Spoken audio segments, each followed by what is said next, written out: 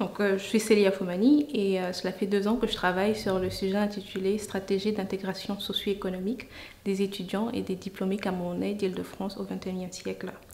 Je dois signaler que lorsque j'ai entamé ce projet d'étude, euh, j'ai constaté que peu de travaux s'intéressaient aux difficultés d'insertion professionnelle des migrants qualifiés, c'est-à-dire les étudiants et des diplômés camerounais de la région parisienne, et des conséquences que cela pourrait avoir sur leur trajectoire migratoire. Donc, dans le souci d'apporter un éclairage nouveau, j'ai choisi de euh, pousser la réflexion sur cette thématique-là. Donc, pour mener à bien euh, ma recherche, j'ai euh, choisi de mobiliser les, travaux sur les concepts d'immigration et d'intégration, ce qui me permis de poser trois hypothèses de recherche que j'ai formulées en deux questions, à savoir quel profil de formation suivi par les étudiants camerounais de la région parisienne sont facilement absorbés sur le marché du travail français. Et en deuxième point, quelles sont les incidences de ces difficultés d'insertion professionnelle sur les trajectoires migratoires de ces qualifiés camerounais? Donc pour apporter des éléments de réponse aux différentes, questions, aux différentes questions que je me pose, le parti pris fut de donner la parole à la population cible.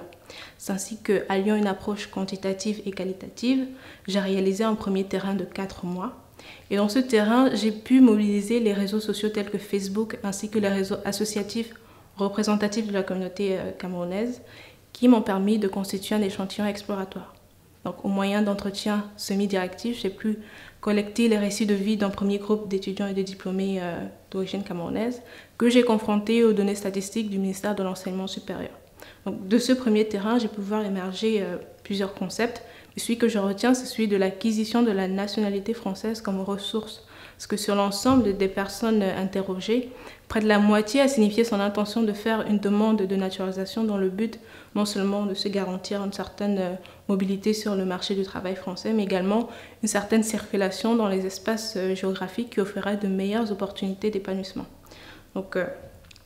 euh, et je pense notamment aux pays de, de l'Amérique du Nord. Donc à mi-parcours de la recherche et après ce premier terrain qui a conforté certaines pistes de recherche, il me reste à couvrir un deuxième terrain dans lequel euh, la sélection d'individus se fera en croisant les typologies de métiers et de formations suivies euh, par, les, par ces migrants camerounais et leur durée de séjour euh, en France.